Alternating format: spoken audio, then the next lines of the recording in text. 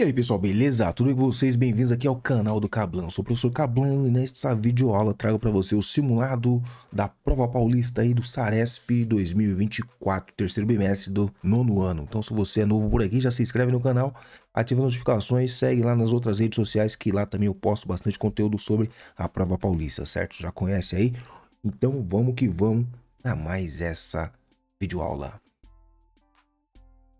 E começando com tudo aqui, ó, a primeira questão qual das alternativas indica os valores correspondentes às letras A, B, C e D, respectivamente, do trecho de reta numérica a seguir? Então, os valores, ó, veja, vou dar no detalhe para você aqui, ó.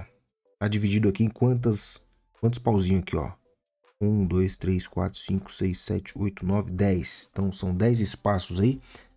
Então, cada um é um décimo, pessoal. Então, aqui quer dizer que nós temos 1, 2, 3, 4, 5, 6 6 décimos aqui, pelas minhas contas, aqui é 6 décimos aqui, ó.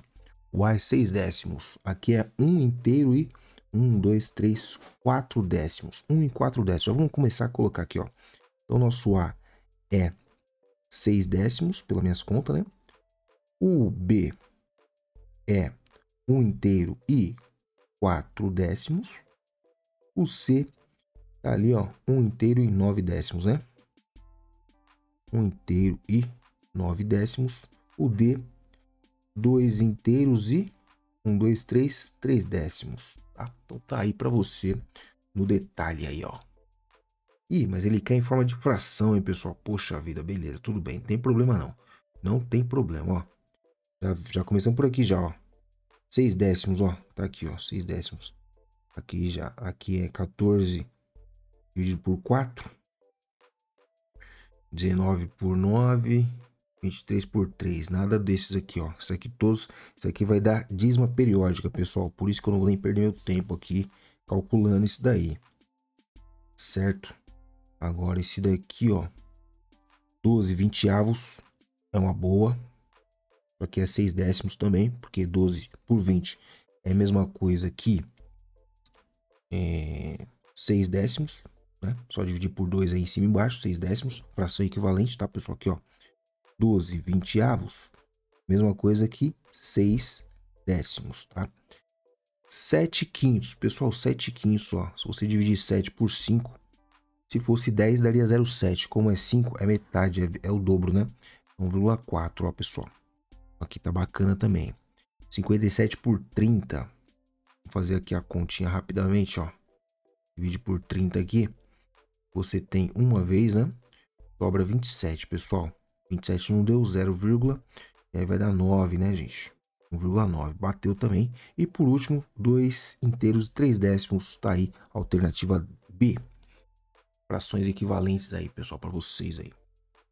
Questão 2 aí, ó. Aqui esqueceram de colocar habilidade. Né? Esqueceram de colocar habilidade aqui, só colocaram o número só. Não está colocada habilidade aqui, ó. MA08. Mas vamos ver aqui, ó. Aqui já é outra, já, tá vendo? No Brasil, a temperatura é Celsius, nos Estados Unidos é Fahrenheit, e ele quer com certeza para transformar Celsius em Fahrenheit, tá? Então vamos lá, 24 na Celsius, quanto que é em Fahrenheit? Só usar a formulinha. Pessoal, esse tipo de questão cai bastante na ITEC, hein? Você tem lá uma formulinha para você conseguir utilizar, não precisa saber nada de cabeça, é só pegar o valor que está no texto e jogar lá na fórmula. Então, temperatura Fahrenheit vai ser igual a temperatura Celsius, que é 24, vezes 9 dividido por 5 com mais 32, pessoal. É só isso só para você substituir aí, ó. Então, a temperatura em Fahrenheit vai ser igual a 9 vezes 24. Pessoal, é o seguinte, né, irmão? Para fazer essa conta rapidamente aqui, que você pode fazer assim, ó. Se fosse 10, daria 240, né? Como é só 9, então tem que tirar 24. Então dá 216, é isso? Se eu não me engano, 216 dividido por 5. Se fosse 10, seria é, 216, seria 21,6. Né? Como é só 5, é o dobro, então vai dar 42, 43,2, não é isso? É 43,2 com mais 32. Vou ter que fazer a conta aqui, mano. É, infelizmente tem que fazer essa conta aqui, ó. Então vamos lá, vai. 24 vezes 9. 36 vai o 3. 18, 21. 216, ó. Tinha feito certo, hein? 216 dividido por 5 É o dobro disso aqui, ó. Então, duas vezes 6 dá 12, vai 1. Um. Duas vezes 1, 2, 3. Duas vezes 2, 4. 43,2. 43,2 com mais 32, 75,2 alternativa letra A, tá, gente? Então aqui é só, não tem segredo, só usar aqui a formulinha, colocar os valores aí, fazer as continhas aí. É um pouquinho chato, né? Mas não pode ter preguiça não de fazer as continhas não, tem que fazer as continhas e os cálculos. Chegar na resposta aí, 75,2 graus Fahrenheit. Na 3 aqui nós temos aqui a habilidade, ó. De novo, não tem, só tem o número da habilidade, não tem aqui o negócio. Um site de vendas de computadores oferece aos seus colaboradores para trabalhar em casa duas opções de ganho. Fixo dos 500 mais 50 reais por computador, 100 por computador. Qual que é o melhor? Qual a vantagem? Então veja, ó, a 10 computadores, eles recebem o mesmo valor, porém, acima de 10 computadores, ó, quem recebe 100 por computador vai ganhar mais. Então é melhor você ganhar 100 por computador, né, e vender mais que 10. A opção 1 dará maior ganho se vender mais que 10. Não, ao contrário. Na né? opção 2, maior ganho se vender mais que 10 computadores. Exatamente, ó. Opção 2 é o quê? 100 reais por computador. É o quê? O vermelho, né? Por que, que a gente sabe que é o vermelho? Ó? Porque ele começa... O azul começa com 500, ou seja, 500 fixo, né? Agora, se não vender nada, ganha nada. Então, é o 2 aqui. Se vender 0, é 0. Se vender 1 um, é 100, 2 é 200, assim por diante. Então, é a linha vermelha, é o 2, a opção aí. Não vamos nem fazer o resto aí. Agora 4 aqui, ó, de novo só tem o número da habilidade, não tem o texto da habilidade, só tem a pergunta. A razão entre a idade de Enzo, que tem 20 anos, e a idade de seu pai, que tem 38, mais velho é. Olha só. É 38 anos mais velho, tá, gente? Então cuidado com a interpretação. Nós queremos a razão, razão é a divisão, tá? Entre a idade do Enzo, então primeiro vem a idade do Enzo, depois vem a idade do pai dele, que é 38 anos a mais que Enzo, ou seja, 38 mais 5, 58, né, pessoal? Simplificando essa fração aí, divide por 2 em cima, vai dar 10. Por 2 embaixo vai dar 29 exatamente, né? Então, 10, 29 avos, alternativa D, pessoal, bacana, né? Aqui no simulado aqui, assinar a alternativa que representa a expressão de situação problema a seguir. Adicionando 4 unidades ao triplo de um número resulta em 40. Qual é esse número? Então, nós temos que transformar essa frase em uma equação, pessoal. Vamos ler aqui, ó. Adicionando. Adicionando é o quê? Mais. Então, nós vamos colocar um, um número, né? Vou ver aqui, ó. 4 mais... O triplo é 3 vezes, né? 3 vezes um número que vamos chamar de x. Resulta em 40. Não é só isso, né? Escreveu aí, já era. Descobriu o x agora, ó o triplo de x, o 4 está positivo, passa para o outro lado, fica negativo, já vou fazer a diferença ali, ó, 40 menos 4 dá 36, né? O x fica e o 2 passa dividindo, né, pessoal? O 2 passa dividindo aí, aliás, o 3 passa dividindo é 12, né, pessoal? Então, esse número que a gente quer é 12, mas ele não queria nem, ele não queria não, isso aí não, ele só queria saber o quê? Só queria saber a expressão, pessoal, não queria nem saber o x, não, a letra C aí, a expressão. Essa daqui foi anulada? Por que, que foi anulada? Sequência de lotes que representam o número de, no quadro abaixo em, senti, em ordem crescente é. É, realmente não faz sentido, né? Era para ter uma sequência aqui, né? Mas vamos responder, ó, a sequência aqui em ordem crescente. Nós temos aqui 3 quartos equivale a 0,75, né? Então, por enquanto esse é o maior. Então, o B é o menor, né? Ordem crescente. O B, depois vem é, o 2 e 3 quintos, né? 2 e 3 quintos. Depois vem o A. E finalmente vem o D. Então seria nessa ordem aqui a resposta, né? Mas você vê aqui o gabarito tá errado, né? 7. Enem 2019. Um casal planejou uma viagem e definiu como teto de gasto diário mil reais. Antes de decidir o destino da viagem, fizeram uma pesquisa sobre a taxa de câmbio vigente para as moedas de cinco países que desejavam visitar e sobre estimativas de gasto diário em cada um, com o objetivo de escolher o destino que apresentasse menor custo diário, pessoal. O quadro mostra os resultados obtidos com a pesquisa realizada. Tá aqui, ó, França, né? Nessas condições, qual será o destino escolhido para essa viagem? O custo diário aqui, ó, temos que fazer a conversão, tá, pessoal? nós temos aqui o seguinte, ó. Que tá em reais, né? Então, 4,25 cada um, cada real aqui, cada libra, né? Que é dois reais, ó, e 10, né? No Canadá, no dólar. Vamos ver aqui, vamos começar pelo dólar, que parece que o dólar tá barato, hein, mano? Quatro vezes, ó. Vamos ver aqui, ó. 400, né? Dólar australiano aqui, na verdade. Vamos ver o dólar australiano.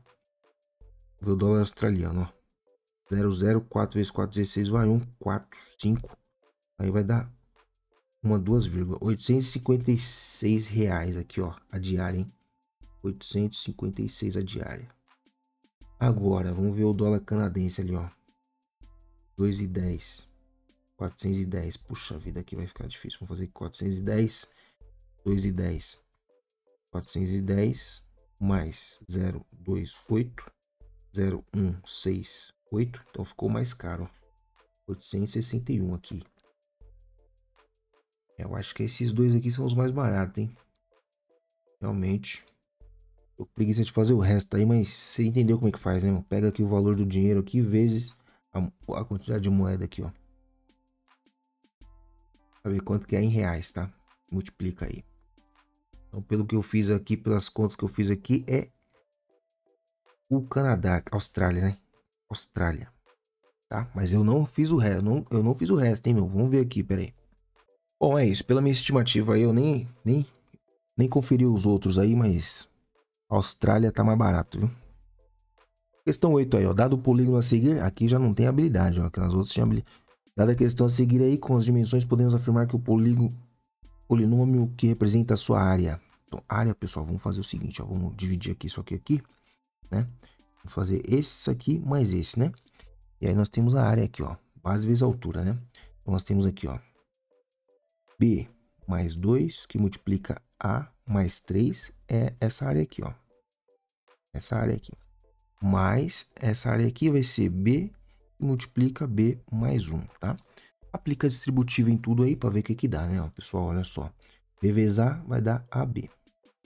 B vezes 3, 3B. Agora 2 vezes A, 2A. 2 vezes 3, 6.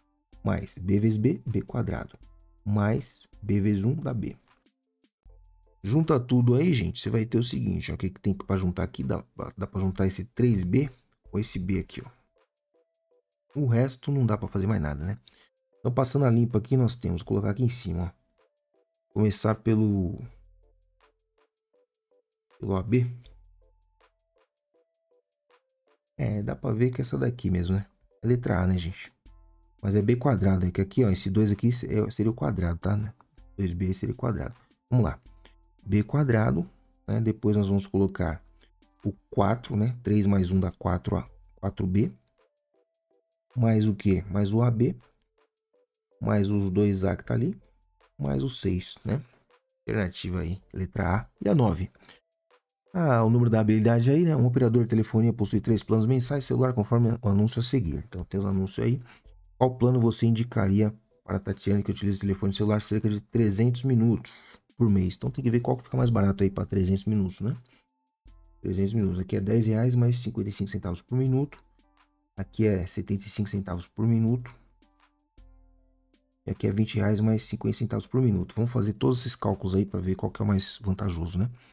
Então, 20 reais com mais 300 vezes 0,50, ou seja, 20 reais mais 150 vai dar Ó, 20 reais mais 150 vai dar 170 reais. Agora o outro aqui, ó, pague menos. Nós temos 75 centavos, né? Vezes 300, né? Vamos ver aqui quanto que vai dar, ó. 00, 3515 vai 1, 3721, 22, né? Aqui já deu 200 e pouco já. 215 reais. 225 reais. Agora por último esse aqui, ó, 10 reais com mais 300 vezes 55, né? 00, 3515 vai 1, 3515, 16. 165 reais. Então, portanto, essa daqui é a mais barata. Vale mais, pague menos. Vale mais e pague menos. Letra C, 165 reais. Pessoal, a última questão aqui do simulado de matemática. Não esquece de deixar o seu joinha, se inscrever no canal, compartilhar esse vídeo aí. E avisar que na semana que vem vai ter oficial aqui no canal. Exclusividade, como sempre. Então já se inscreve aí para não perder, hein, pessoal. Observe os triângulos 1 e 2 aqui, ó. Beleza. A razão de semelhança, pessoal, razão de semelhança, ó. A gente descobre a razão de semelhança, né? Do triângulo 2 para o triângulo 1. Então, vamos comparar o 2 com 1. Vamos dividir, né? Por exemplo, os lados correspondentes, né? Esse com esse. Né? A gente descobre a razão de semelhança, que é exatamente 2, né? Do triângulo 2 para o triângulo 1, a razão de semelhança é 2. Na verdade é o seguinte, né? De 2 para 1, é, de 1 para 2, na verdade é 2, né? Porque é o dobro, né? Então, na verdade, aqui de 2 para 1 seria a metade, né, gente? Metade, tá? De 2 para 1. Metade. A razão de semelhança de 2 para 1. Então, daqui para cá, nós temos o quê? E dividir por 2, né? Para chegar. Então, a razão de semelhança é o que a gente multiplica. A razão de semelhança é meio. A de 2 para 1, tá? Interpretando dessa forma, né? Interpretando dessa forma, de 2 para 1. Para sair de 2 para chegar no 1, eu tenho que dividir por 2, tá, gente? E assim, esse enunciado ficou meio confuso aí. Ou eu também, que não estou sabendo fazer, né? Mas, pelo que eu entendi, de 2 para 1, você divide na metade para chegar. Tá bom? Se não for, também ao contrário, vai ser 2, tá? Mas eu acredito que seja meio. Tamo junto, é nóis. Fiquem com Deus aí. Bons estudos. Até o próximo vídeo. Tchau.